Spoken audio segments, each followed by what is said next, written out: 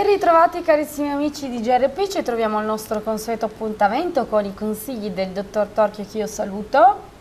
Buongiorno a tutti. Buongiorno a lei, ricordiamo medico chirurgo specializzato in medicine dello sport, omeopata e studioso di medicine naturali. Dunque, dottor Torchio, con lei abbiamo già parlato del discorso della fertilità, del calo della fertilità, abbiamo anche fatto, dedicato una puntata ai rimedi e alle cause eh, sull'uomo, io dedicherei questa puntata alla donna e quindi le chiederei innanzitutto quali sono i rimedi, se serve una depurazione, come vanno presi e lascio la parola a lei.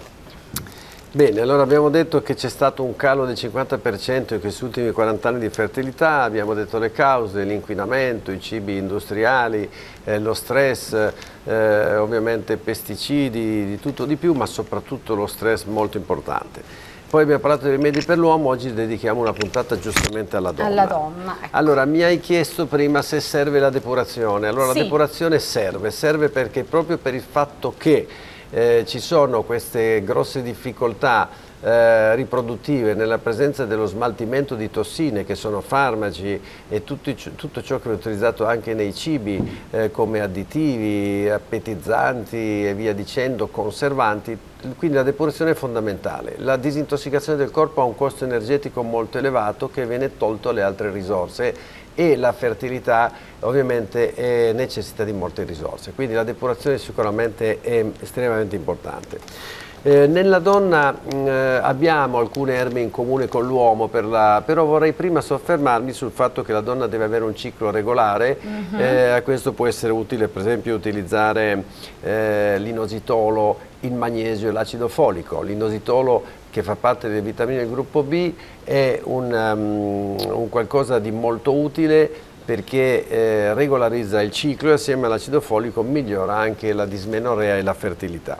Il magnesio poi è questo sale così importante che tutti dovremmo assumere nella giusta quantità per evitare di andare nella cosiddetta acidosi metabolica causata anche dall'attuale alimentazione squilibrata che è mh, il terreno sul quale incominciano a manifestarsi tutte le varie patologie, soprattutto quelle infiammatorie.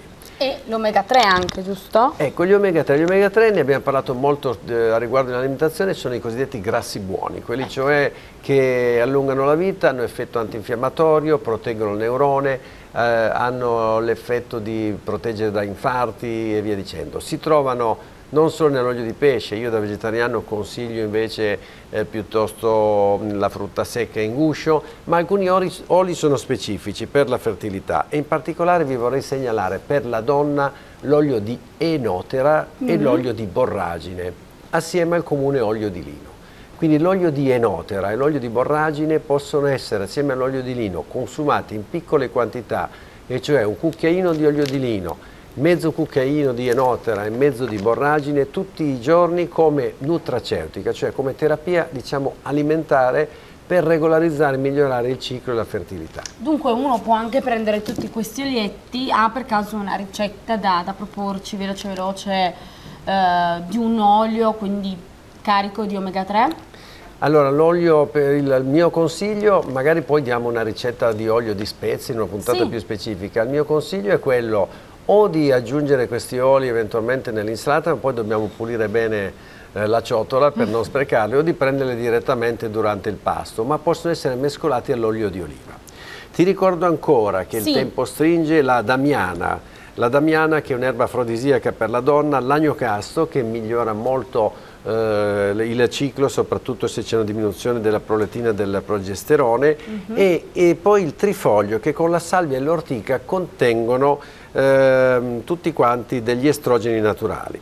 Poi -huh. abbiamo ancora i germogli di alfa-alfa che sono molto ricchi, possono essere assunti assieme all'insalata. Ti ricordo ancora le, le foglie di lampone di mora rossa, un frutto tropicale che si chiama camu camu, che è questo mm -hmm. afrodisiaco, e poi abbiamo la maca che viene utilizzata anche dall'uomo, ma in particolare per la donna il Don Quai, che è l'Angelica sinensis, cioè eh, l'angelica che arriva dalla Cina, dall'Oriente, che migliora, regolarizza il ciclo, migliora la fertilità, anche se poi una volta che la ragazza, che la persona rimane eh, incinta, dovrebbe sospenderla perché a lungo andare potrebbe aumentare troppo le contrazioni uterine.